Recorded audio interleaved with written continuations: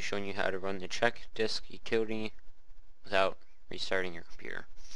Now to begin, I've done this video before, back in 2009. Um, that was five years ago.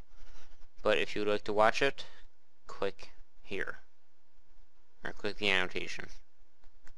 Now, to begin, what we're going to do is we're going to type in cmd, this is for Windows 7, run as administrator, and you're going to click yes. Now that you get this, what you're going to do is check, or chk, dsk, just like normal, or just like before.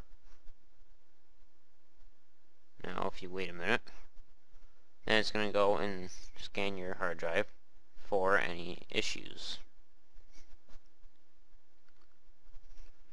So you can use this if your computer is acting strange. And sometimes it just can be good just to check it. Keep, I, keep in mind I have a terabyte hard drive, so it takes a while to check over all this. So if you notice it says run, it's running in check disk only, or um, if you saw that, if you notice it's running in read only mode, this is just simply because um, it can't change anything on the disk without restarting Windows. So if you wanted to do that, you would have to do check disk C or whatever drive you want to check.